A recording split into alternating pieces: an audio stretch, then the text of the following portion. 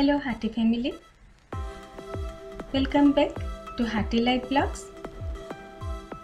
ये संडे सुबह के लिए मैं ब्रेकफास्ट बना रही हूँ आलू पराठा और देखिए पूरी की तरह कैसे फूली फूली सी बन गई है थोड़ा सा ठंडा मौसम हुआ नहीं कि घी जमना शुरू हो जाता है आलू पराठा घी से सेके तो बहुत टेस्टी लगता है यह मैं आलू मेथी पराठा बना रही हूँ। इसकी रेसिपी ज़रूर शेयर करूँगी। संडे के दिन इस तरह की कुछ हेवी ब्रेकफास्ट करने का जब अगर मन करे तो उसके बाद चाय तो बनती ही है। वैसे तो मुझे चाय पीना मना है, पर कभी कभी ऐसा हैवी ब्रेकफास्ट हो तो थोड़ी सी अदरक वाली चाय बारिश के मौसम में बहुत अच्छा लगता है। तो बस ब्रेकफास्ट के बाद थोड़ी सी चाय। और देखिए, चाय बनते ही तुरंत हाथ आ जाता है कप उठाने के लिए।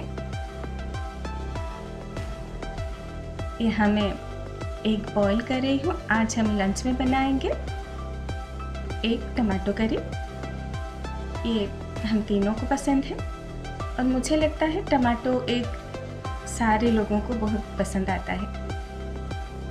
यहाँ मैं थोड़े से अदरक, लहसुन, प्याज, हरी मिर्च और दो से तीन मीडियम साइज़ के टमाटोस ले लूँगी। टमाटो बहुत चाहिए हमें तो एक बाउल फूल करके हमें टमाटो चक करके लेने हैं। यहाँ राइस भी बना रही हूँ बॉइल्ड राइस दाल और एक टमाटो करी बहुत अच्छा लगता है। और देखिए, खाना बनाते बनाते देख रही हूँ। अभी धूप है तो थोड़ी देर में ही छाँव भी आ जाती है। मौसम बहुत अच्छा बना है। यहाँ मैंने तीन टेबलस्पून रिफाइंड ऑयल में, आप कोई भी ऑयल ले सकते हैं मस्टर्ड ऑयल में भी अच्छा लगता है। थोड़ा सा मस्टर्ड सीड थोड़ी सी क्यूमिन सीड एक सूखी मिर्च डालकर तड़का दिया और चॉप्ड ओनियन और जिंजर गार्लिक क्रस्ट डालकर इसे मैं ब्राउन होने तक खूब अच्छे से भून लूँगी। और उसके बाद चॉप्ड टमाटोज डालूँगी। टमाटो डाल के मिक्स कर लेंगे।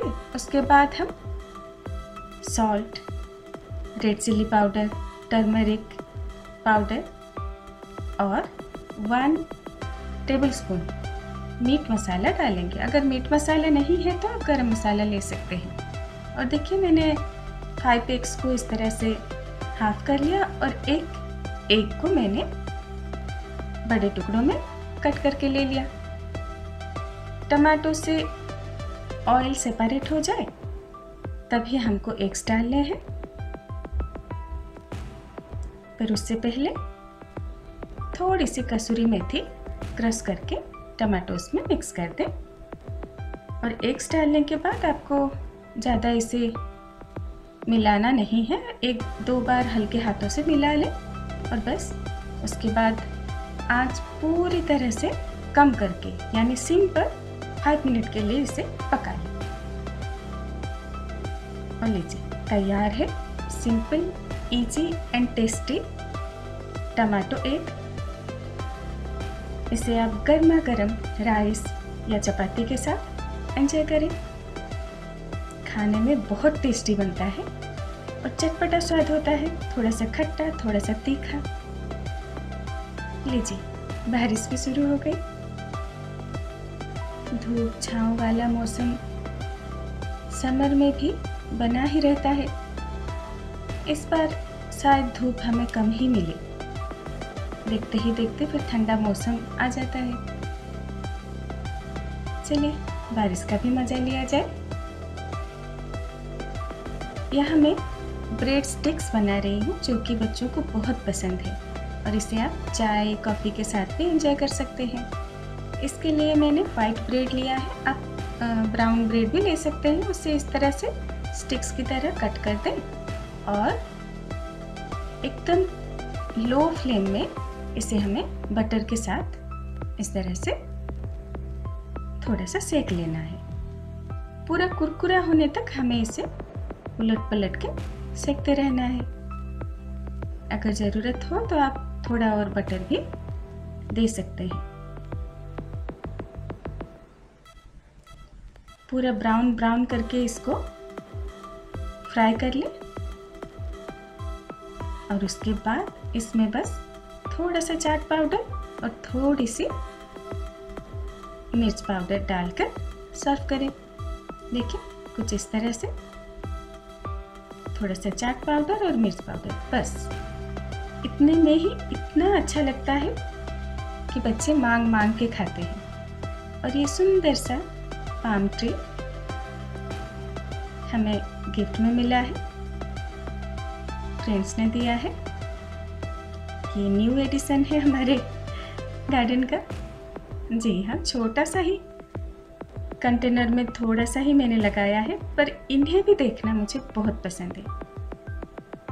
और ये हमारा रोज प्लांट देखते हैं कैसा चलता है। पर जो भी फ्लावर्स इनमें थे, वो धीरे धीरे खिलने लगे हैं। जब ये पूरी तरह से खिल जाएँगे तो इन्हें हम कट कर देंगे। और नीचे थोड़े से धनिया के बीज थे, वो भी ग्रो करने लगे हैं। इवनिंग का ये मेरा बेस्ट टाइम होता है। अब देखिए डिनर करके हम जैसे ही सोने के लिए निकले तो पर्दा बंद करने से पहले इतना खूबसूरत सा मुझे नज़ारा देखने को मिला। मौसम खुशनुमा हो गया है। गर्मी बिल्कुल नहीं है। अगर आपको मेरे वीडियोस देखना पसंद है तो फिर please like share comment and subscribe करना ना भूलें। Thank you so much for watching happy life blogs thank you